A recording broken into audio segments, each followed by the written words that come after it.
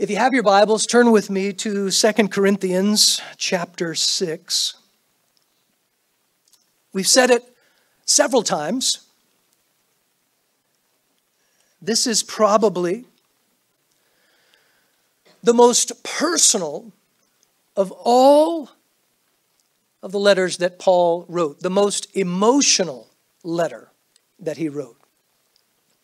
We sense his heart, and, and he's dealing with the church at Corinth and those who have swayed them and turned them from him, trying to move them from the gospel back into Judaism, religion. And Paul is appealing to them and reminding them what ministry really is. And we desperately need to be reminded today of that. I'm excited about this chapter because in this chapter, Paul's going to talk about ministry musts. Musts. There are musts in ministry. He's going to talk about three big ones. The first, cooperation. The second, determination. And the third, separation. These are vital for ministry. And look at verse 1. Speaking of cooperation, he says, We then, as workers together with him, well, we could stop there. Let me read that again. We then, as workers together with him. I could spend the rest of our time together sharing with you my heart on this verse.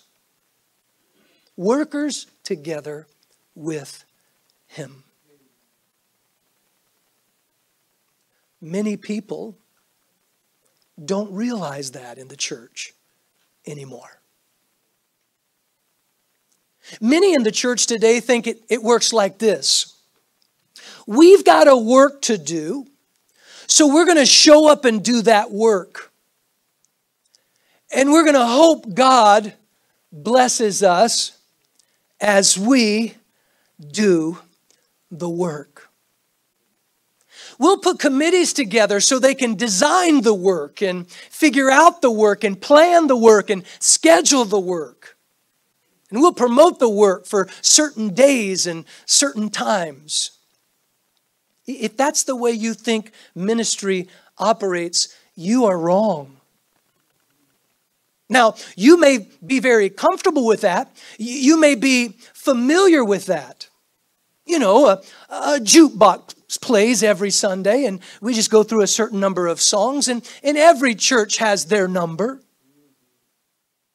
You can't deviate from that or be careful.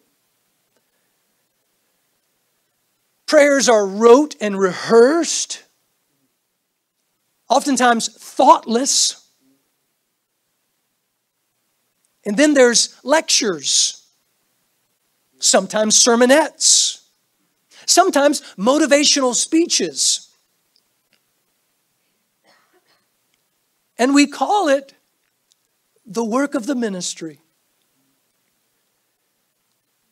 And lost people feel comfortable in the service. Sinners feel comfortable in the service. The hurting leave hurt. The addicted leave addicted. The sick leave sick. Because, well, we have no power. We have no ability on our own. Jesus didn't say to his disciples, now, now you boys run along and do the ministry. Good luck to you. He didn't do that. It's not even so much as we work for the Lord. Paul says we work with Him. I've been in the ministry for a long time. And I can't tell you how many times I've gotten in trouble. I've stayed in trouble most of my time in ministry because men have told me how to do ministry. But the trouble I get into is Jesus tells me something different than what the men tell me. And I've just been dumb enough through the years, I guess. It's not because I'm holy or righteous or spiritual to do what Jesus tells me. Because I figure if I'm on the wrong side of somebody, I would rather be on the wrong side of men than on the wrong side of Him. And so I get called to the carpet all the time. You can't do it like that. You don't do that. You don't do this, and you're doing this wrong, and you're doing that wrong, and you're doing that wrong. And, and I go, okay, sorry. And I run back to Jesus and I say, Lord, you've heard what's been said, and I, I want to do what, well, I want them to like me, but I want to do what you want me to do. Because there's coming a day when I'm going to stand before you, and they, whoever they are, are not going to be there. Paul says, we're workers together with him. Now, let me just remind you, church, that means you can't do ministry without prayer. And I'm not talking about, Lord bless what we're going to do. Let's do it. And nothing would change if Jesus wasn't even in the midst. We're workers together with Him, which means I've got to be looking to Him. I've got to be listening to Him. I've got to try to be in tune. I got to I don't know how else to describe. I got to put my feelers out, you know. I mean, and we make mistakes in this process, but it's like, oh Lord, I'm going downhill with my foot on the brake. It's like I, I just want to stay at the speed you want me to be at. I, I don't want to get out ahead of you. I don't want to slow down and get behind you. I just, I just want to be in what you're doing. Jesus got into trouble. Now that I think about it. He was always working and doing things at the wrong time and the wrong way and the wrong place. And those same men got onto him and said, You can't do that. And you can't do that. Who told you to pick up your mat? Don't you know what day it is? And you know what he responded? In John chapter 5, my Father works hitherto, and I work. See, we could learn a lesson this morning about our Savior.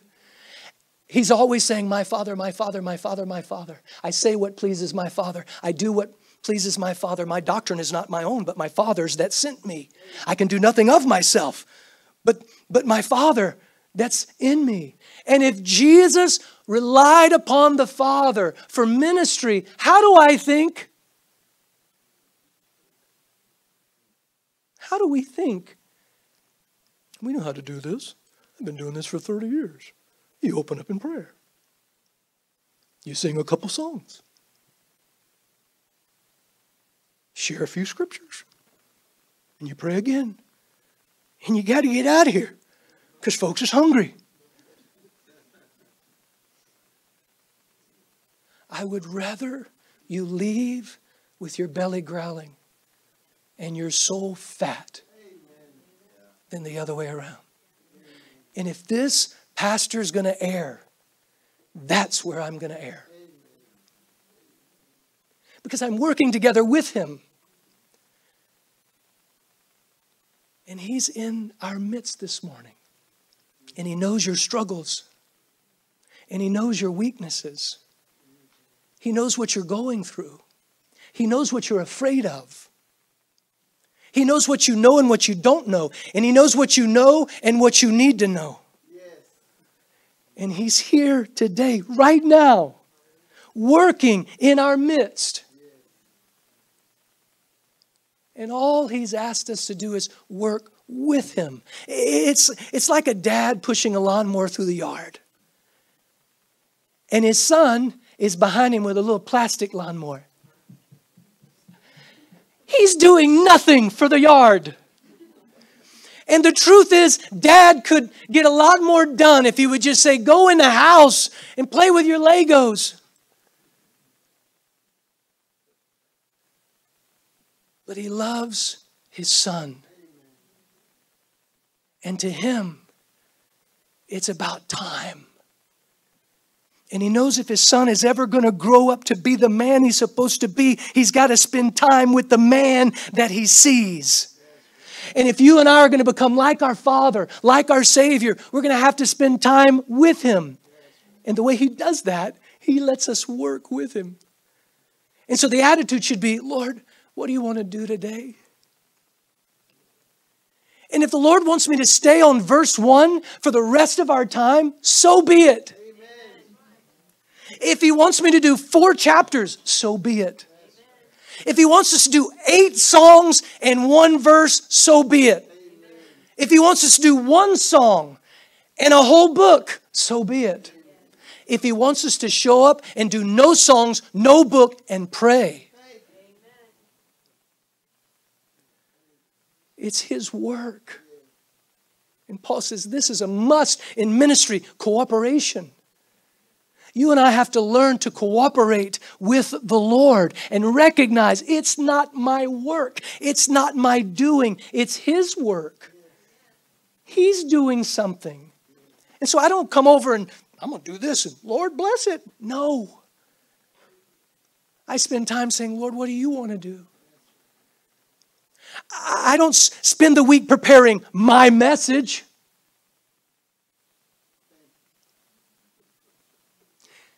I'm praying, Lord, what is your message? I don't know who's going to show up on Sunday. I have no idea, but you do. I don't know what I'm supposed to say. All this is good stuff, Lord. I, I want to say all of it, but they won't hang around that long. So, so, Lord, what do you want me to say today? And what do you want me not to say today? And that's ministry. That's how you be a dad, dads. You wake up every day. You have given me this sacred, solemn stewardship. These are not my children. You have given them to me on loan. I don't know how to, I don't know what their future is. I, I don't know what your calling is for their lives, but you have given them to me. How do I equip them? How do I prepare them? You spouses, do you really know what's going on in your spouse's heart? Where are they in their relationship with the Lord? What areas does Jesus want to deal with right now for them? Hmm? You're not going to know that unless you wake up every day and say, Lord, if you're a wife, how, how do I support my husband? Lord, you've called me to submit, and, and that's a struggle sometimes. But I know I'm submitting to you. But what would make it even easier is if you are able to make my man the man you want him to be. And so I'm praying for my man. Draw him close to you, Lord. Pull him close. How can I work with you? So, Paul, after beseeching sinners in chapter 5. Be reconciled to God. We find him now in chapter 1 beseeching the saints. Look what he says that you receive not the grace of God in vain. Now, let me quickly say, he's not saying, be sure, I beseech you, don't lose your salvation. That's not what he's saying. If you remember from his first letter, in chapter 15 of 1 Corinthians, Paul says, I am what I am by the grace of God. And his, his grace, which was given to me, right, allowed me to work and labor more than any other. This grace that he's given me, he saved me. I'm heaven bound. I've got a reservation. The truth is, from an eternal perspective, I'm already there. But he left me here. Not so that I could live it up, as we saw in the last chapter, not to live for ourselves, but to serve him and to work with him and to be a part of what he's doing. Wow. This is exciting to me. Years and years ago, man, it's been forever. There was a song called Thank You. And the song was, was about the saint making their way into heaven and individuals coming up and, and saying, Hey, thank you. You know, that little child, I don't know, from India, Madagascar, Operation Shoebox, running up to you and saying, Thank you. You know, that little toy truck, that little water bottle, that little t shirt you rolled up and stuck in that box. Because of that box, I heard the gospel. Because of that act of working with the Lord, I'm here. Because of that offering, because of that prayer you prayed, because of that thing you said, because of the time that you stopped in the hallway and prayed for me when I shared with you what was going on in my life. We get to work with God. And this is a grace. We've received this ministry. And we shouldn't receive it in vain. At the end of chapter 15, Paul says, Be steadfast, therefore unmovable, always abounding in the work of the Lord, for as much as you know that your labor in the Lord is not in vain. It's not in vain. Look at verse 2. For he saith, I have heard thee in a time accepted, and in the day of salvation I have succored thee. Behold, now is the accepted time. Behold, now is the day of salvation. Not only are we to cooperate with the Lord, as Paul said in chapter 5, verse 20, we are ambassadors. We're ambassadors for Christ. We represent him. Do you know that an ambassador has no authority of his own or her own? And an ambassador is not to have his or her own agenda either. And an ambassador is not on his or her own time.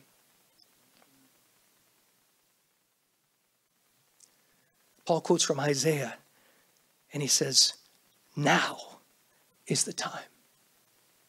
When should you get serious about the Lord? Now. When should you be focusing on Second Corinthians chapter 6? Now. When is the day of salvation? Today. And when we get to tomorrow, tomorrow is going to be today and it's going to be the day of salvation. And the next day is not going to be the next day, it's going to be today. Do you know that every day is today? There really is no tomorrow. We're waiting on tomorrows. Tomorrow I'm going to get serious with the Lord. Tomorrow I'm going to start my quiet time. Tomorrow I'm going to sign up for this ministry or that ministry. Tomorrow, tomorrow, tomorrow, that is Satan's favorite day. Tomorrow. And all the while, the Lord is saying, Today, today, today, now, right now. This is your moment. What are you waiting for? This is your moment right now. You are not here by accident. I am not here by accident. This is a God thing, this is God's work. And what we should be doing is, Lord, what can I do? Put me in. How, how can I help? What, can I do? Cooperation. We're not trying to get God to cooperate with us. Our life should be cooperating with Him, walking in His Spirit, moving in His Spirit. Jesus told His disciples, hey, don't you go anywhere, don't do anything. You go to Jerusalem and wait. You wait. I don't believe there's a waiting period anymore for saints. When we're saved, we receive the Holy Spirit into our lives. But that doesn't mean we don't need to wait in the sense of, Lord, what are you doing? We don't need to pray. In the Old Testament, there's a story of a man named Cushai and a man named Abishai. Abishai's like, let me run, let me run. I want to go tell, tell David. I want to go tell him. I'm going to go tell him, let me run. I'm ready to run. Put me in, coach. Put me in, coach. Put me in, coach. And he was told by the commander, no, no, no, Cushai's going to go. Oh, come on, come on, let me go. Let me go too, let me go too. He sends Cushai. He goes running. And he keeps on and he keeps on. Put me in, put me in, put me in. Let me do it, let me do it, let me do it. I know what to do. I can do it, I can do it, I can do it. Okay, fine, fine, go. Abishai takes off man, he can run. He, he, he catches up with Cushai. See ya! And he comes barging into the king's presence. So, so how's it going? David asked, um, Well, you know, well, uh, um, I really didn't see myself what happened. Um, I'm not, and he's fumbling and stumbling. And, the watchman says, I see another runner. And he looks like Cushai. And David says, Hey, stand aside, Abishai. I don't think it's Abishai. Am I? I'm getting them mixed up. Anyway, it's Cushai and another guy. Uh, you can go look it up. Anyway, Cushai shows up and tells the king the news. I'm convinced there's a lot of stumbling and fumbling and stuttering in the church today. Because we just run. We just run out there. We just run out there. Moses. Moses knew that God had called him. Moses knew that God had a work for him to do. He knew it. And he, he wanted to do it. Right? E for effort. But he took matters in his own hands one day in Egypt and took the life of an Egyptian, had to run away. And so God took him, and what did he do? He put him on the back 40 for 40 years tending sheep. 40 years. I wonder today how many ministers, how many ministers on the day they recognize God has called me into the ministry, and the Lord would say, 40 years from now, you can start. I wonder how many would meet that meeting on that 40th anniversary. Works together with Him. We're, we're to move with Him, to listen to Him. And you can't do that if you don't spend time with Him. How do we know what He wants to do if we're not with Him? Okay, let's, verse 3.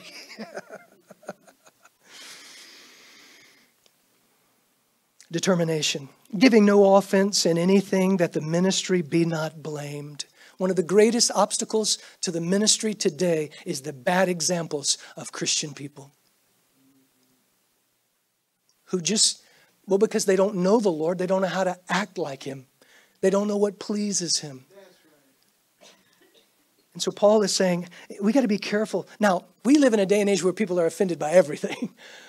That's not what Paul is talking about. He's talking about true offense, stumbling our brother. If you remember in Corinthians, he says, If eating meat stumbles my brother, I'll not eat flesh as long as I live.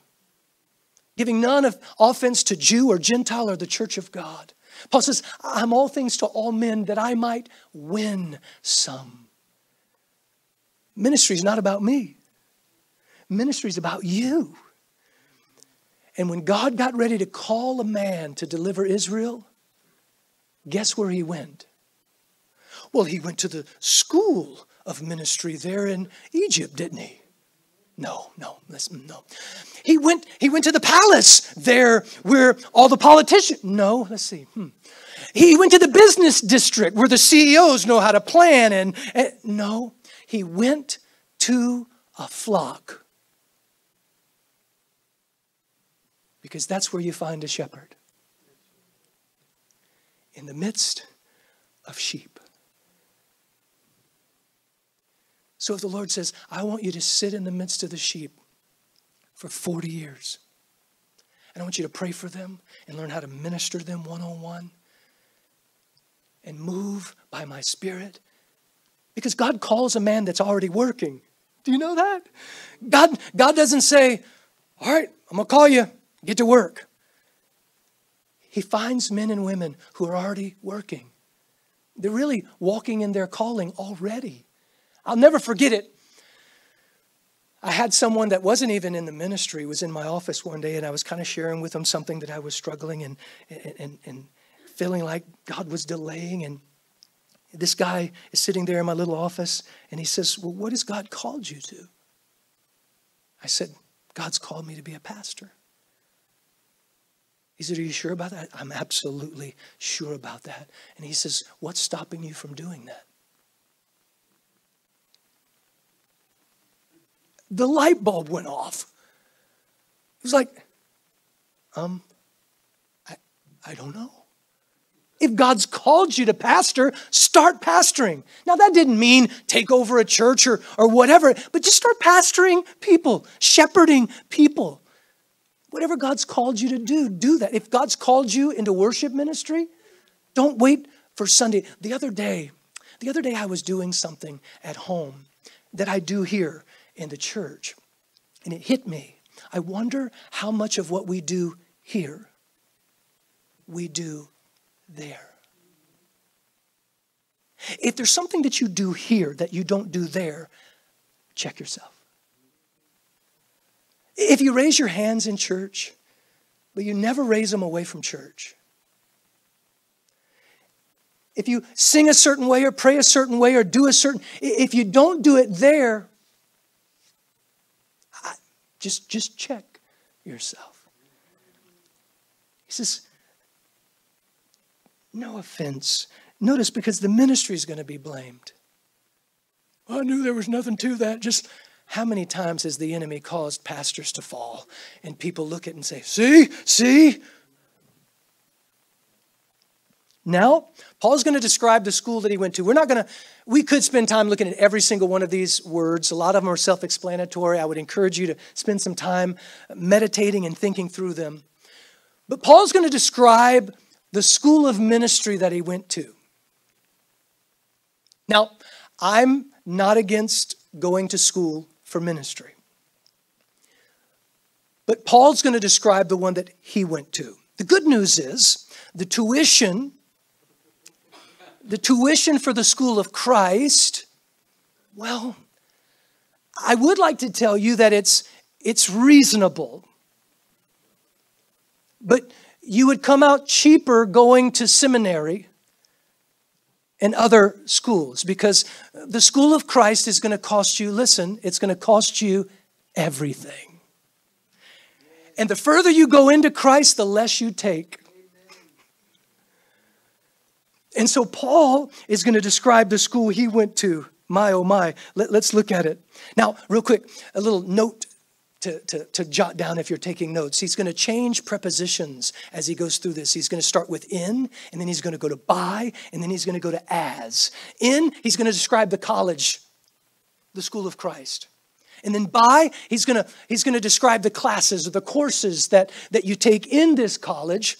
And then lastly, as the accreditation or the credits or the credentials that you get as you graduate out of this class, although you never really graduate, but be that as it may. Look what he says.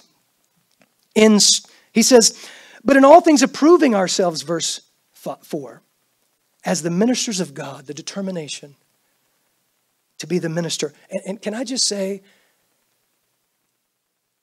all of you that are born again, disciples of Christ, are ministers. You don't have to have the title pastor.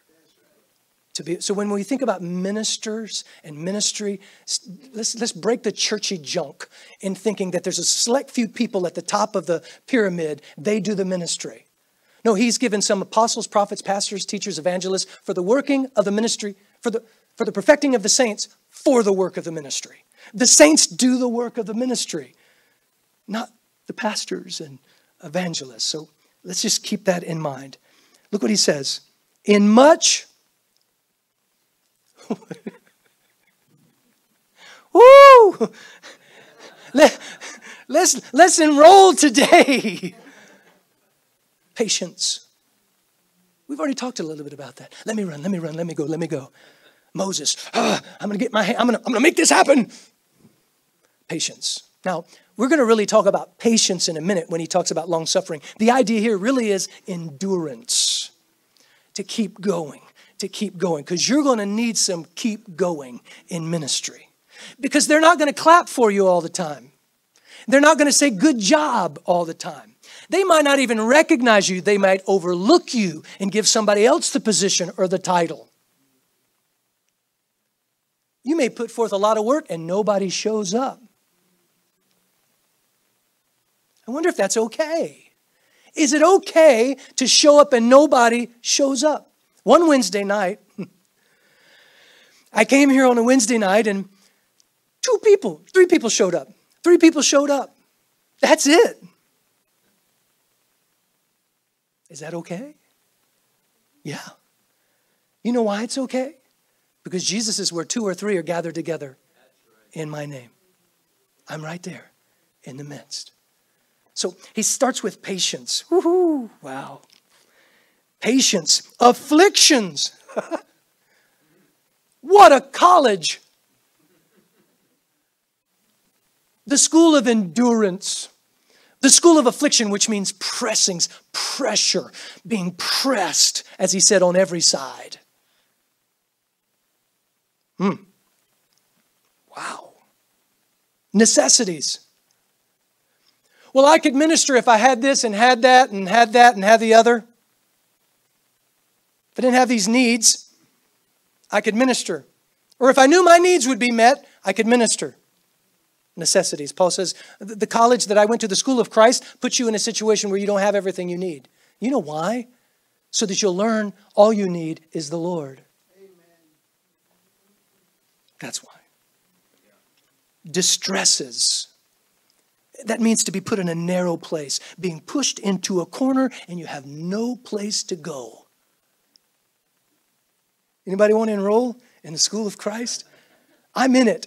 Oh, don't, don't let this scare you. This is wonderful. As, as a matter of fact, we're, we're going to talk to someone who's, who's been through this school when we get to chapter 12, and wow, I, I'm not there. I'm still in class. But this guy says, bring it on. The worse it gets, the more I like it. Whew. I'm not there. Pray for me. Pray for me. In stripes, in imprisonments, in tumults, which means uh, riots or confusions, in labors. That means working to exhaustion. Yeah, I want to be a preacher because it's an easy job. I've even heard people say, pastors don't do nothing. I've heard people say, well, he don't, you don't, well, you know, you don't work like we do.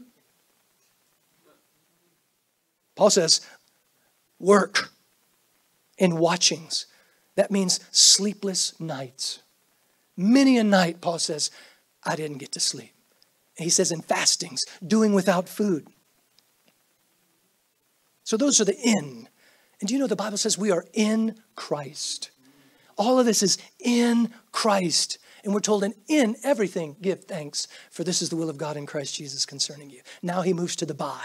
Right here are the courses, the classes that we take. By pureness, moral character, Man, that's lacking in the church today.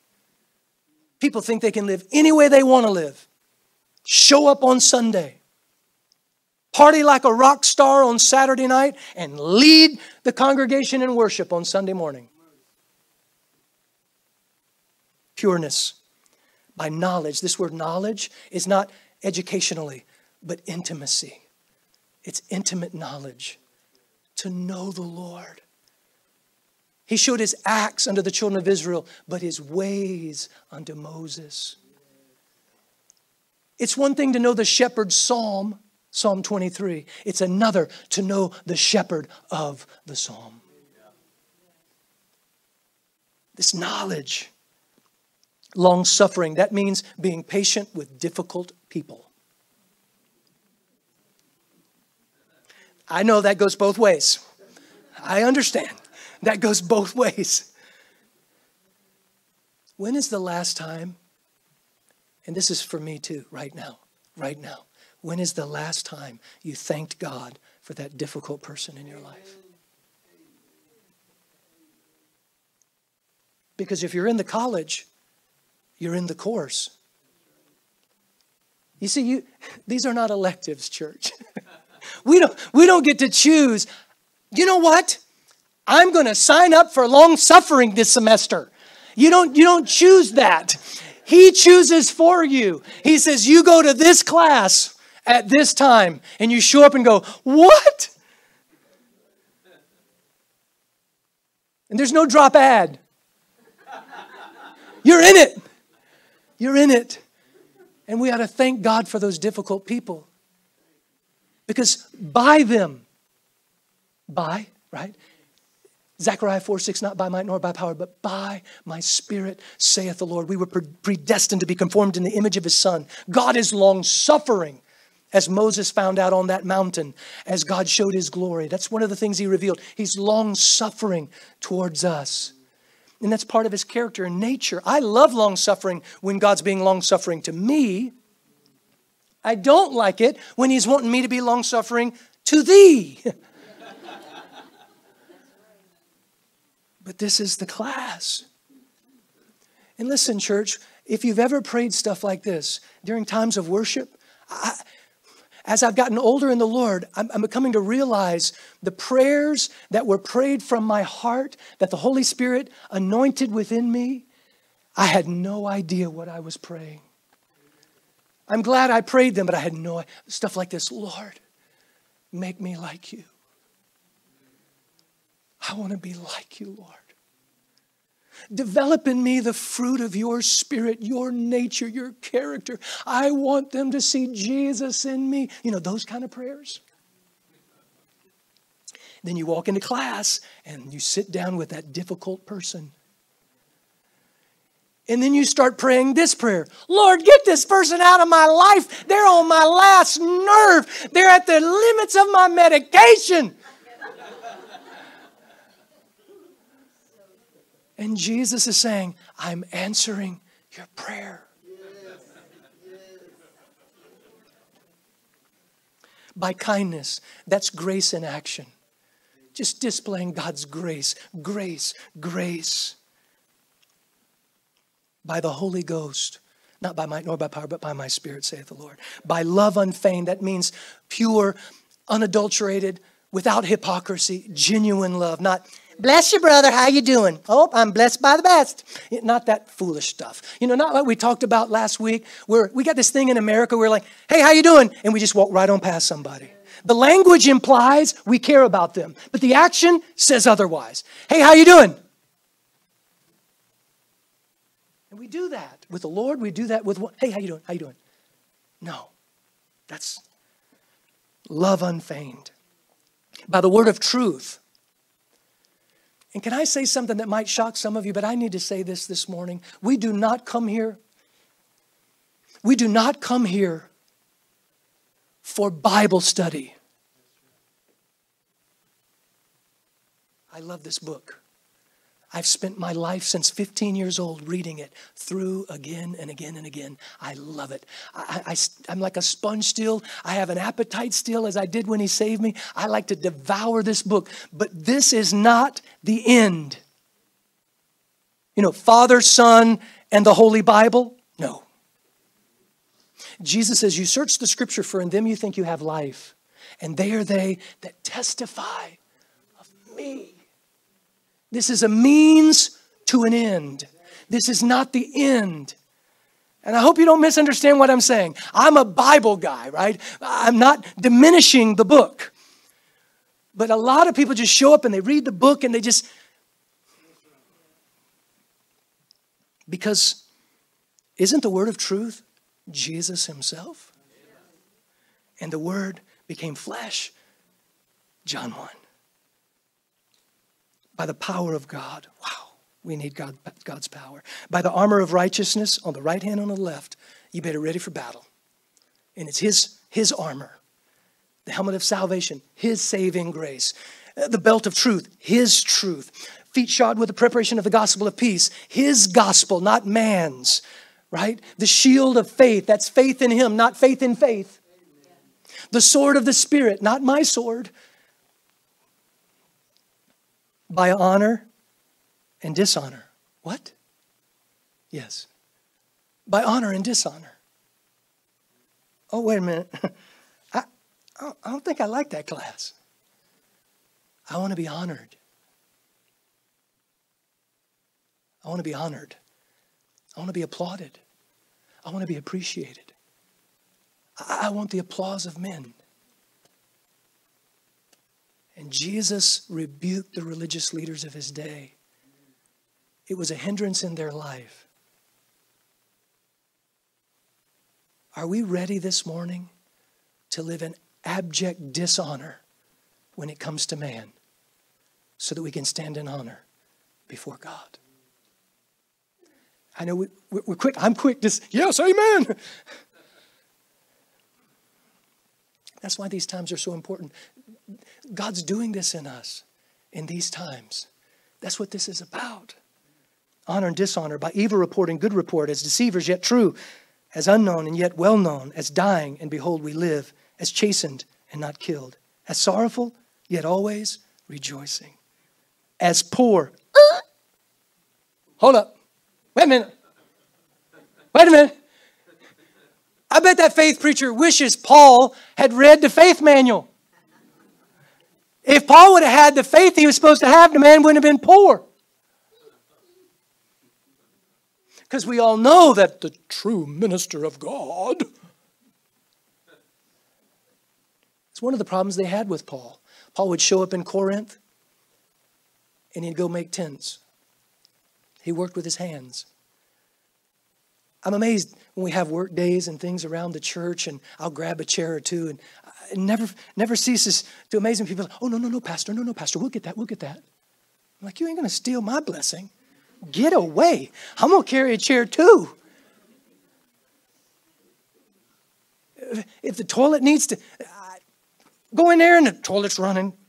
I'm not a plumber, so if anybody knows plumbing, that, that toilet in there, get with me. Anyway, there's been times I come in, that thing's just running, running, running. I take the lid off and I'm going to try, right? I don't want to lose my blessing. Paul's poor, he says. We've come a long way, haven't we? Come a long way. The ministers of day are no different than the politicians, completely and totally out of touch with the people they're supposed to be serving. They have no idea what the real world is like. So they can look down their hypocritical noses at everybody else. Hmm. Well, anyway. Hmm.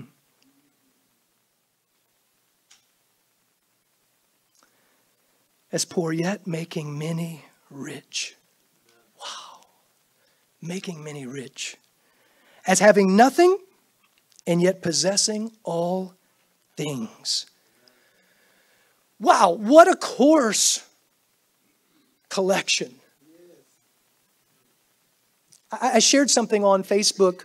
I normally don't do our church Facebook page, but I just I was just praying the other day and and and posted something. If you follow us on Facebook, you might have seen it, but Paul in Philippians chapter 4 says, he uses three verbs to describe. He says, I have learned, I know, I've been instructed to be content. In whatever state I am, I know how to abound, I know how to be abased. I, I know how to be hungry, and I know how to be full. That's the school, church. That's the course study. All intended for you and I to recognize and understand all I need is Jesus. That's all I need. And I know it's cliche and it is not. It is true. Philippians 4:13, you know the verse that we take and we put it in gyms. We put it on, you know, motorcycles and sports cars. Philippians 4:13, I can do all things through Christ which strengtheneth me. Completely take it out of context and use it so I can pump a little bit more iron. I can do all things. We, motivationally, we use it. And that is not what Paul was saying. Paul was saying, when my belly is rubbing the two sides together, and I have no smell of barbecue in the vicinity, I'm okay. Paul goes into one town and they say he's a god and try to offer a sacrifice to him. He goes in another town and they stone him and leave him for dead. Which one would you rather have? Good question. Which one would you rather have? And the answer is both.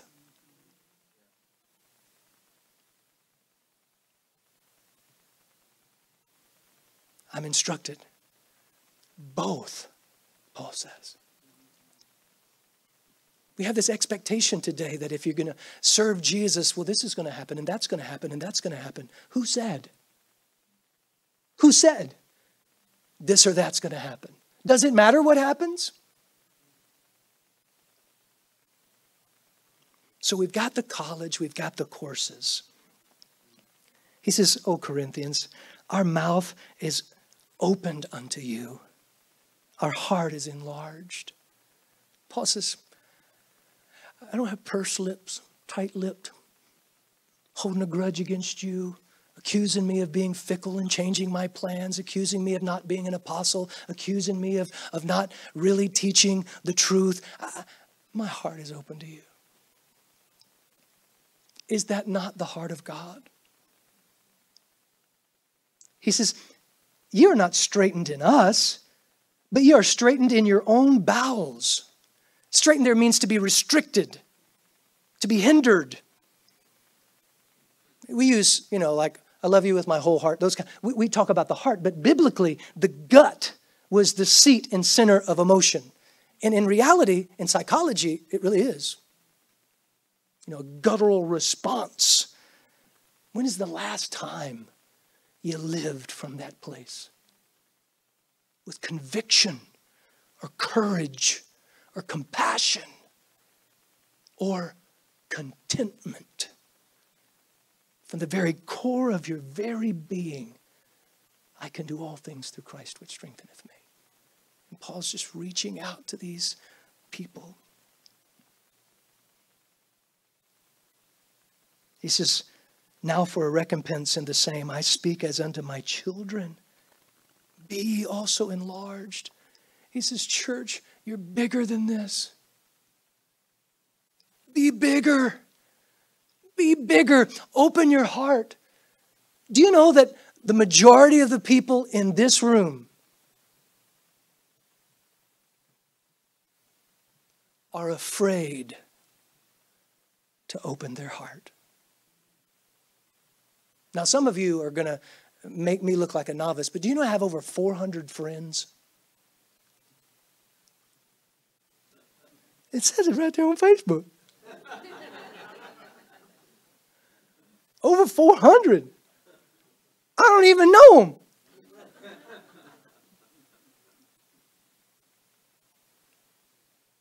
Intimacy. If you really want a simple definition of intimacy, it's in to me, you see. Intimacy. He says, open your heart, church. And that's what God, I believe, is saying today to the church. There's discontent and there's unrest in the church, and they're like, oh, well, God's moving us because of discontentment and unrest. No, He isn't.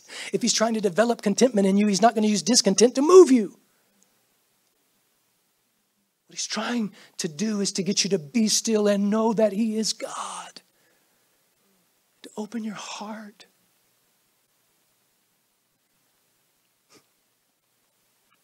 But then He gives a warning.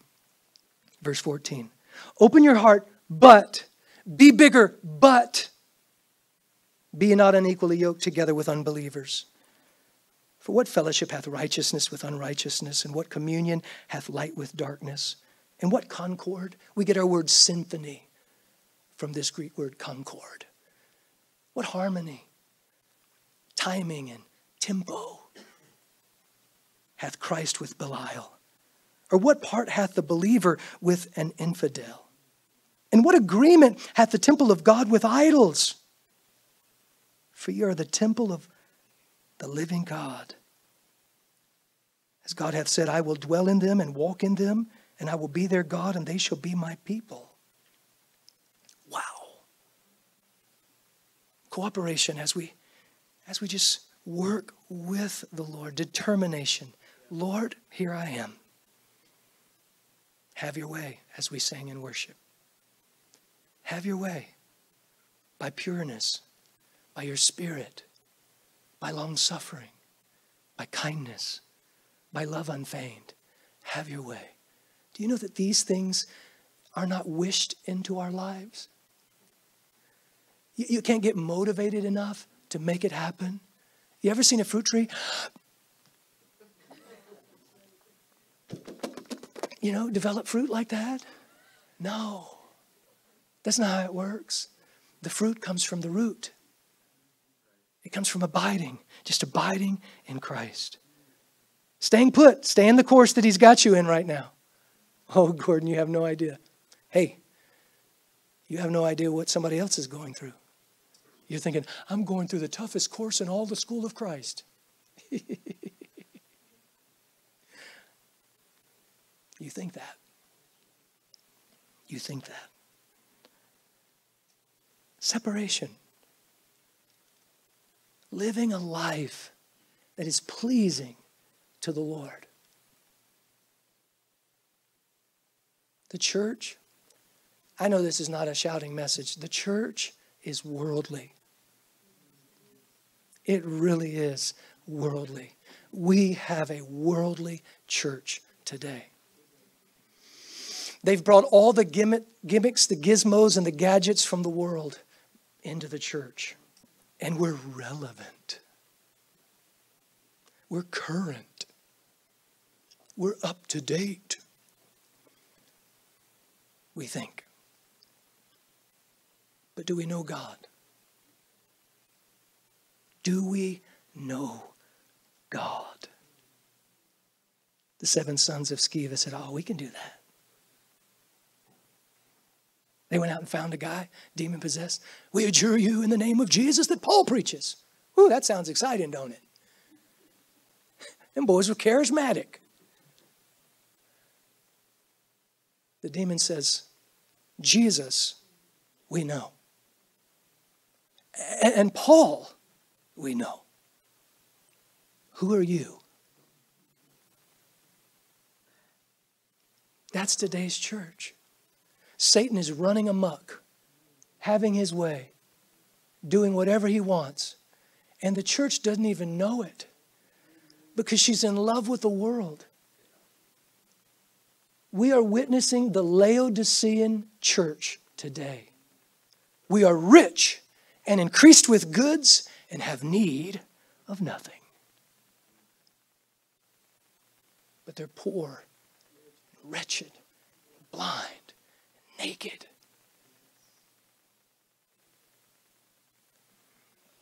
Look what he says. Verse 17 Wherefore, come out from among them. Can you hear him this morning calling you? I don't know where you're at. I don't know anything about your lives. Eh, don't come up to me afterwards and say, Whoa. I don't know what's going on. The Lord knows what's going on. And He's calling you out. There are things in your life that look just like the world. You say, well, Gordon, that's judgmental. No, I, me too. Me too. You could walk with me for a week and you, you fill up a little steno book. What about that, Gordon? What about that? Well, don't touch the, none of your business. Yeah, we, we, we all have that stuff. And all the time the Lord says, come out, come out, come out. Can you hear him calling? There's Abraham in Ur of the Chaldees. And God says, Abraham, get out. Get out of your land.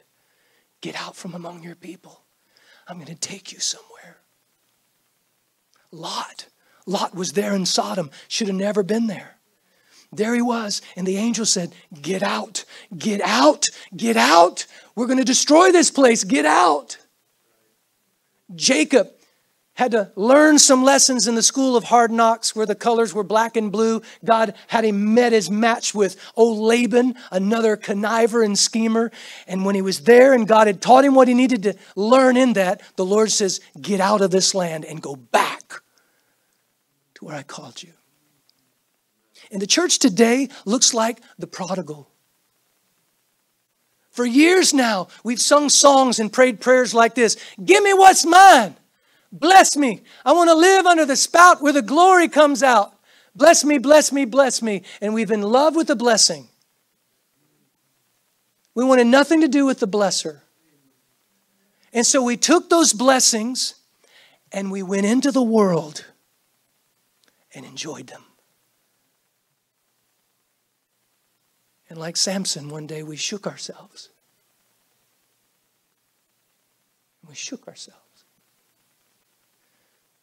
And we did it harder. See, life takes a turn.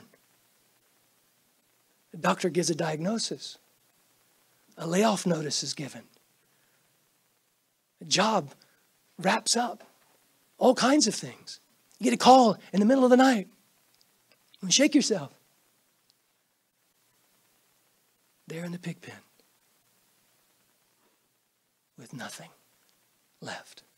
Oh, but the most important thing was always there.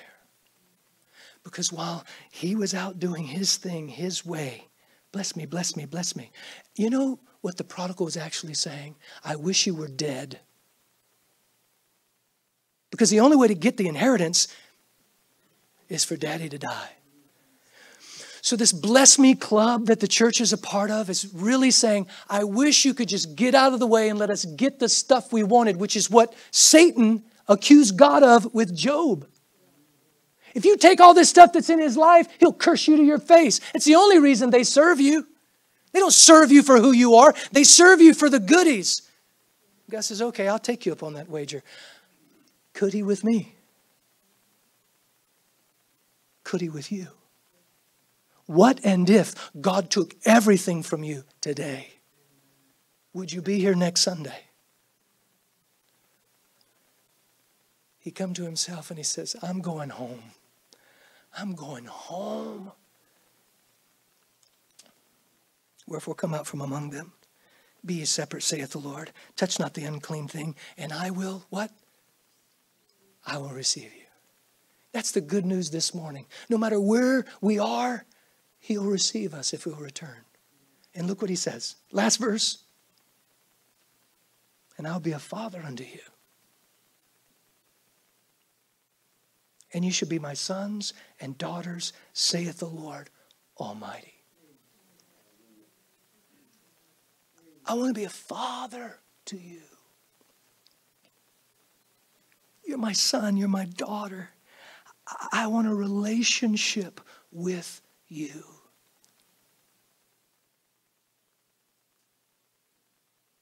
And so it's vital that we understand what ministry is. It's good today that we've been reminded by our brother Paul what ministry is because based on what we believe ministry is, is going to determine what kind of church we are.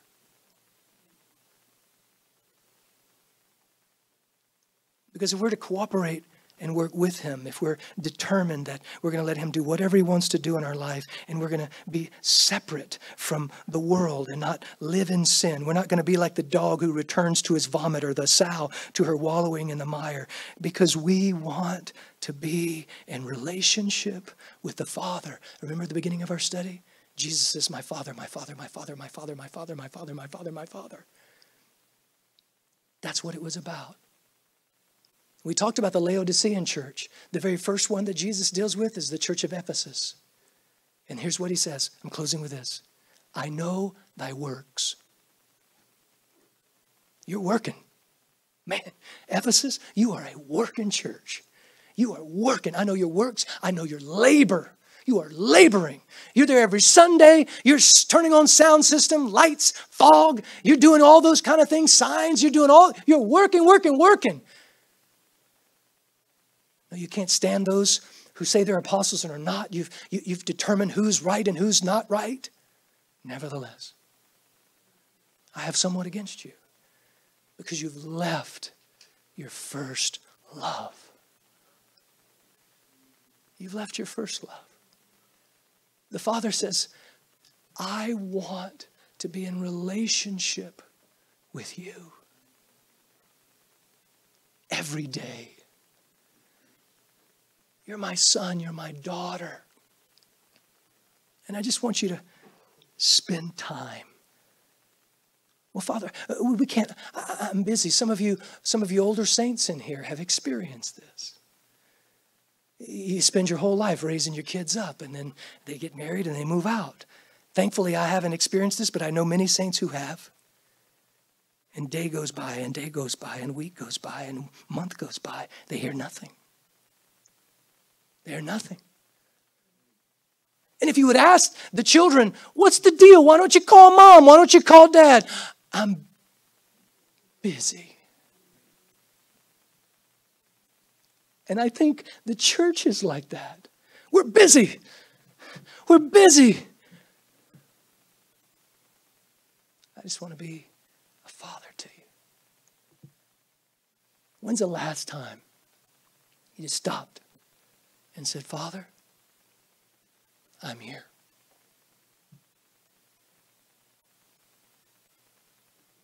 And it, that's about how long it takes for the awkwardness to hit you, especially when we're not used to it. We hate that. We hate that.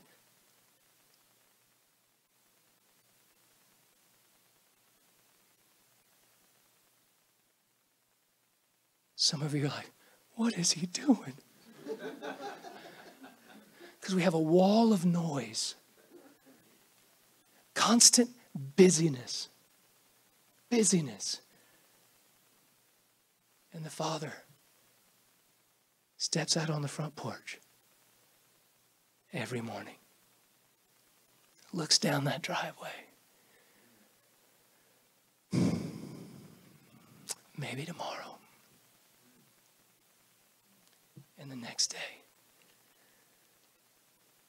Maybe tomorrow. And today we could say, Father, we're coming home. And He'll receive you, restore you in fellowship. Wow. Let's stand.